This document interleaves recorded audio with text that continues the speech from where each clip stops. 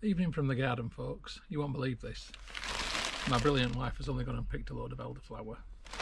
So it looks like I'm making elderflower wine. So in the 1970s, my dad taught me how to do this. Get the elderflowers off. Just go like that in your hand and see how they're all falling into the paper.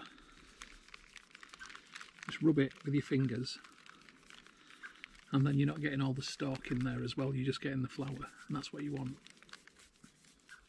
And there's the net result of a lot of rubbing. Easily enough now to make a gallon of wine. So here are the elderflower flowers, they're now in a plastic tub and these are going to go in the fridge overnight and tomorrow we'll pick this up. Hey folks, it's the next day. I've had my elderflowers in the fridge overnight. Right, so I've added about three litres of water into this pan. I've got some other things in there I'll show you. So I've got two halves of lemon and I've got four tea bags and what I'm going to do is I'm just going to make a little bit of lemon tea. I'm now going to leave this to come to a simmer. So while my tea is brewing I'm going to prepare my elderflowers or I'm going to sort them out. So I've got in here 250 grams thereabouts. So I'm going to take half of these out. That's including the weight incidentally of the plastic tub. So I need to take that into account also but I want to take half of those out, pop them in there, and it's going to be half of this amount, so approximately 125 grams of flowers, which is going to go into the tea, and that's what will make the wine must. If you're interested, the other half is going to be used to make some non-alcoholic elderflower cordial. Right, let's have a look at my lemon tea. I think it's safe to say that that's boiling. I shall reduce the heat.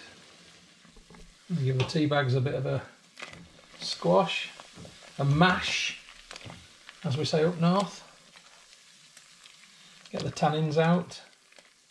That's what we want. Okay, I'm going to take the tea bags out now. They've done their job. It's pretty straightforward actually.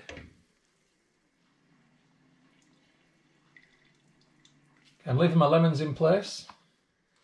And now it's time to add my elderflowers in they go. I can immediately smell them. They've got such a distinct smell. Brewers would say there's an IPA smell. A lot of people would say it's a bit of a cat pee smell, and it is. It is very similar, but it's very tasty, unlike cat pee, which incidentally I've never tried. So I'm just going to give this a little stir around. I want these to infuse. Okay, and all I'm going to do now is turn the heat off, pop the lid on. I'm going to leave this overnight now and I'm going to come back to it tomorrow when it's a cold mixture. So I'll see you then. Afternoon folks, it's actually the next day now and the elderflower tea has been steeping for 24 hours, so a lot longer than I was initially going to do it, but I think it was a good idea. It smells really, really good, really elderflowery. I'm now going to tip it into the demijohn. I've got a sieve in the sink to catch all the bits, so hopefully what we'll go through will be mostly liquid without bits. So that's just going through nicely, it's a nice brown colour. And now the flowers are starting to come through.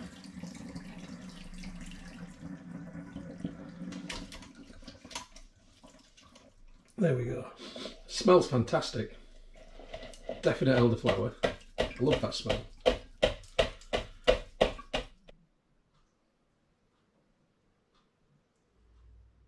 So this is what I've got in the demijohn.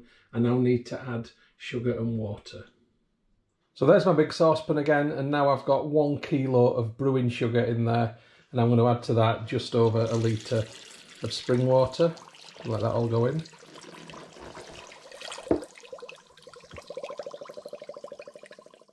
I'm going to give it a little stir, make sure it's not stuck to the bottom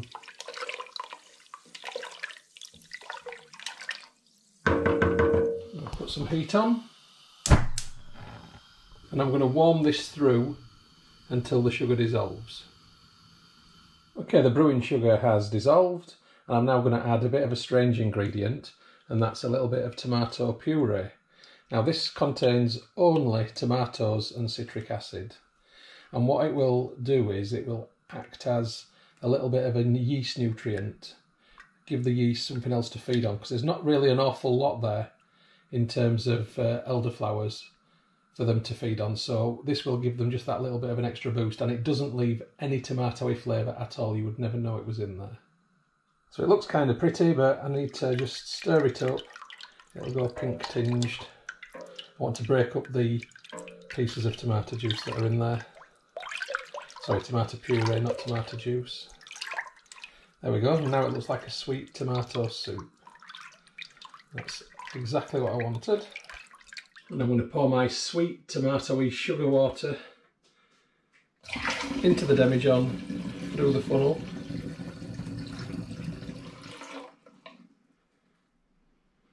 I've actually got quite a bit of liquid left in here and the demijohn's nearly full so I'm going to use a slightly bigger fermenting vessel. So this is a Tesco 5 litre water bottle. I'm going to ferment the wine in this. It's just ever so slightly larger than the one gallon demijohn so I'm just going to transfer now. So I'll add the uh, tomato sugar water now. I'm filling this right up because I'm going to pour some out to take the gravity and I won't put that back in. So that will leave a 100ml headspace. For the Krausen, I'm not expecting a huge Krausen on this, which is the foamy head that builds on top because there's not a lot of matter in there. But if I do get one and it blows through the airlock, I shall simply replace the airlock with a blow-off pipe.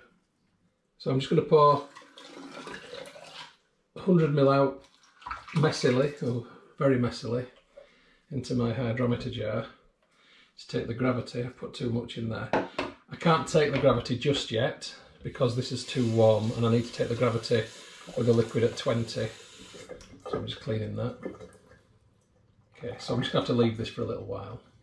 Okay, I've got two ingredients left to add. First one is yeast. I'm using Lalvin EC1118 champagne, sparkling wine and cider yeast. Very good reliable yeast for winemaking. I'm going to put one heaped teaspoon in and then a third of a teaspoon. After that, I'm going to add some pectolase. Now the pectolase will help clear the wine. Uh, and when you boil fruit, like I have done in this, uh, it can sometimes lead to a wine which is a bit cloudy at the end. So this will help it to clear. I want to put about half a teaspoon in. I need to agitate this now. I want the yeast and the pectolase to sink and mix, which they will do and that yeast will get very happy in there. It's warm, it's sugary, everything that yeast wants. And there's the nutrient from the tomato paste obviously as well. So this should make hopefully some nice flavoursome wine. It's just time to put the airlock in now and then I'm done. For the airlock I've simply bored a hole in the plastic uh, lid for this bottle so if I just screw this on now this should hopefully work. I've got the bung in place and that should hopefully start popping soon. Well, 25 minutes in, I've got a developed Krausen and bubbles have started to go through the airlock. So this is all looking good. I still need to take the original gravity though. Okay, the temperature's now down to 20, so I can take the original gravity of the wort. Nice and buoyant. And I'm starting off with an original gravity of exactly 1.070, 1070. Okay, that's it for now. So the next film that you'll see will either be clearing or bottling in a few weeks' time. So I'll catch you then. Hey folks, quick update with my elderflower wine. Here it is. As you can see, it's looking decent. The fermentation has completely stopped. It's been inside this vessel for a month. It is fairly opaque, but not clear. But what I'm going to do today is I'm going to rack it off from this vessel into this vessel to remove it from the sediment and any bits of sediment which are clinging on these ledges around the edge. So I've got my siphoning tube held in place now with this clip. I will get a bit of sediment from the bottom, but that doesn't matter. And I'll get this into the clean demijohn. Let's do it. Yeah, looks decent. It smells like elderflower. I like it.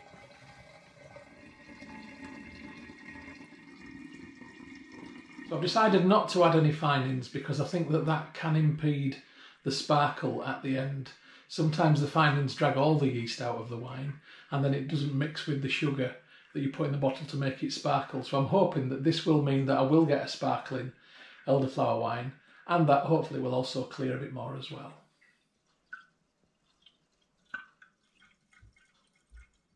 There we go. Bubbles in the siphoning tube. Tell me that this is now over. And there we go, we can consider that racked off. I often wonder what the Australians think when we talk about racking off. Anyway, I'll come back to this in a few days' time and we'll have a look at the colour and clarity of it at that point. Good afternoon from the kitchen, folks. It's my elderflower wine bottling day. So here it is. It's cleared pretty nicely, in all honesty. Um, it's been in secondary for a week. I've decided now I'm going to move it from here into the bottles so it can condition in the bottles and develop a fizz. So I'm hoping to get six 750ml bottles out of this. I've got a couple of smaller ones in reserve in case I don't quite make that. And for each of the 750ml bottles, that I've got. I'm going to put a nice generous amount of sugar in. This is just standard household uh, granular sugar. And I'm going to put one of those in, which is a, a very generous heap teaspoon for each 750ml bottle. And it's bung out, siphoning tube in. I've got this very handy clip to hold my tube in place. I've got the bottom in the very bottom of the demijohn. There's barely any sediment down there. And it doesn't matter if the first bit that comes out is sediment heavy because it's going to go into the hydrometer tube. So let's do it. And it's actually come out clear straight away.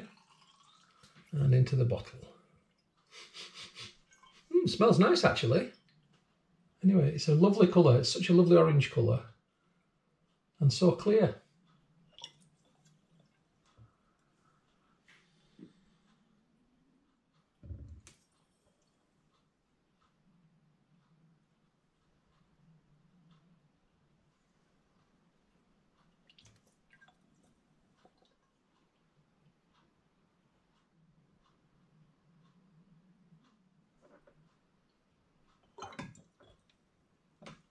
So just looking at what's left, I think I'm going to end up with five 750ml bottles and then one of those two. Let's see what happens. I think if I add that to what's in the hydrometer tube, I might be able to fill that small 500 there. If I can't, and I don't have any 330ml bottles, then I'll just put it with the tomato paste wash I've got to go through my air still. Before I go any further, I'm going to take the final gravity of this brew. And that sank like a good. Wow, I don't know if I've ever had one sink that much before. I think it's safe to say that that has finished on 0.990. Wow. So to work out the alcohol by volume of my elderflower wine, I take the original gravity of 1.070 I deduct from that the final gravity of 0.990. That equals 0.08 and I multiply this by 131.25 and that equals 10.5%. It's a nice percentage for a wine. I'm happy with that. So I'm just going to see how much I can fit in this bottle. This is from the uh, half bottle that I filled. It might be slightly overcarbed in that bottle because there's a lot more sugar in there than what I would have put in a bottle that size. So when I come to condition this bottle, I'm going to put it somewhere secure in a cardboard box. Okay, so that's the half bottle in there. I'll add what's in the hydrometer tube. Slightly too much headspace, only a bit, but I've got an idea. This is what's left in the siphoning tube. Aha, perfect. Just enough. Let's not waste any. A proper Yorkshireman doesn't waste a bloody drop. Right. I've got my bottles on the sink. I need to get my bungs in place. So I've got my bungs, which are plastic bungs, softening in very hot water. This just helps get them into the bottles because they can sometimes be a bit of a pain. And to that end, I'm also wearing a glove to protect my hand because that's where you get the pain. One, two, three. I always find the posher bottles are the harder ones to get the bungs in. Four, Ugh. And five. Right, good stuff. I'm just going to put this bottle to one side and carry on with these ones. So now I've got bungs in place. I need cages because that lovely carbon sugar that's in there is going to get munched by any bits of yeast which are left in suspension and hopefully there is some. And when they eat that yeast, they'll make alcohol and a byproduct of that will be CO2 which will build pressure up in here and if I don't put the cages on then pop. It's the CO2 buildup and the pressure which carbonates the drink and makes it a sparkling wine. So you do need to do this. Anyway, putting cages on bottles isn't particularly exciting, so I'll do all these and come back to you in a minute. So I'm going to bottle this beer bottle, which is an old Erdinger bottle with the Space Invader. I hate this thing, as I keep saying. But I am going to get a bench capper for Christmas, I've decided. I'm going to persevere because I don't do too many of these kinds of bottles yet. Although by Christmas I might have moved on to corny kegs. Oh God. It's so addictive home brewing, isn't it? And it's down. So you couldn't see that, but I was capping downwards into the sink, uh, basically so if the bottle slipped it didn't go everywhere. And it's easier to do it downwards than it is on a work surface. That's capped nicely though, it's really tight. I want to label my bottles, but before I do that, I want to just give them a quick rinse because they've got sticky residue on the outside. Look at that colour, that is lovely. That's my bottles topped and washed. I now need to make the labels. I've made my bottle labels up using a simple template in Microsoft Word. I'm just going to print these off. So I'm just going to label my bottles now. I like to take a little bit of pride in their appearance. It's nice to have nice things, isn't it? And you know, I take a bit of pride about what's on the inside of the bottle, so it's it's good to have it nicely presented.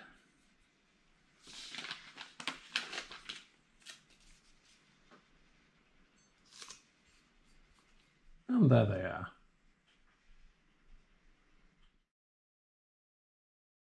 So welcome to the conservatory folks. It's a south facing room, it's summertime, it's really warm.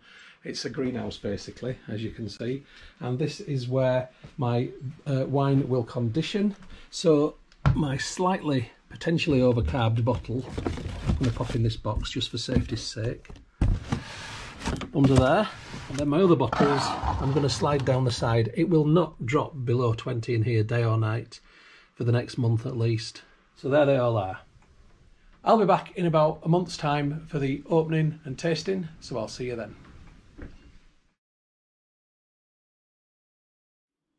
Good evening from the kitchen, folks. It's elderflower, hopefully sparkling wine opening night. As usual, I'm a little bit excited about this one. I love elderflower wine, and I'm really, really hoping that this tastes of elderflowers. I want it to have a nice smell. I want it to look good in the glass. I'd love it to have a sparkle, and I'd love it to have a nice taste. If I can get three out of four of those things, I'll be happy enough. If I can get all four, I'll be ecstatic. Now looking at the bung, I don't know if you can see, it's risen by about 0.5 mil to 1 millimetre maybe, so that is an encouraging sign that possibly this has carbed. So let's see what happens. I'll use my posh glass today. Seems as though we're having sparkling wine, darling. You know, it's almost elderflower champagne. So yeah, I thought I'd try my posh glass. So here goes. Let's get the cage off think this cage is at the end of its life, it's getting a bit sharp. Right. Am I going to get a pop? Woo! Oh, come on. Let's just appreciate that sound.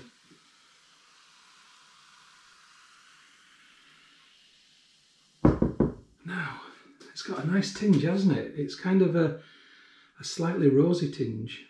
Rosy, a bit yellowy. Looks a bit like a sparkling urine sample. Don't say that. Right. Oh, yes, that smell. That elderflower smell. It's almost like a, a sweet hoppiness, which fills me with happiness. What does it taste like?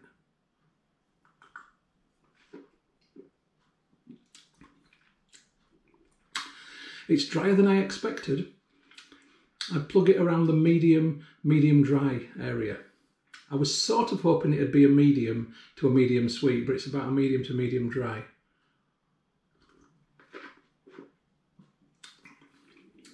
But you know what? That's got bags of flavour. Really, really strong elderflower flavour. I'm very happy with the result in all honesty. It's the first time I've made elderflower wine for about 30 years, so yeah, I'm chuffed to bits with that. So anyway, cheers folks. It's been a journey from picking to sampling, but I'm glad I waited. Incidentally, I've let this condition um, for one month exactly, so two weeks longer than I normally would. Anyway, I'm going to enjoy this one, so cheers, and I'll catch you on the next brew.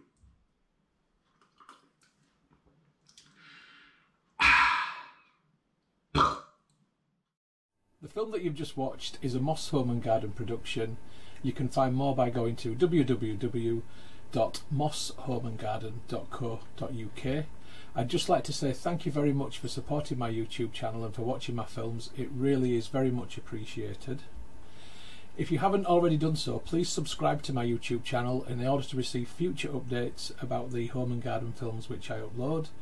You can find my YouTube channel by going to www.mosshomeandgarden.co.uk. Please click on the red subscribe button. When you've done that, a little bell will appear. If you press that also, then you'll get future updates about the films which I upload.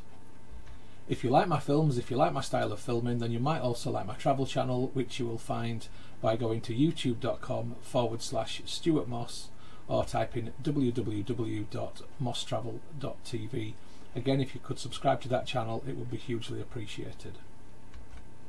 If you'd like to get Moss Home and Garden updates on Facebook, then please open Facebook and do a search for Moss Home and Garden, and you will find the page. If you like the page, then you will get future updates on there.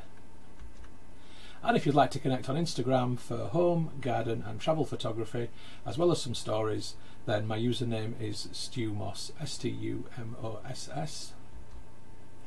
If you'd like to connect on Twitter, then my username is at Stuart Moss. And if you'd like to contact me about film usage or any other issue, please just email me on stumosshomegarden at gmail.com. Once again, thank you very much for supporting my channel, for watching my films. I do appreciate it. I'd just like you all to have a great day.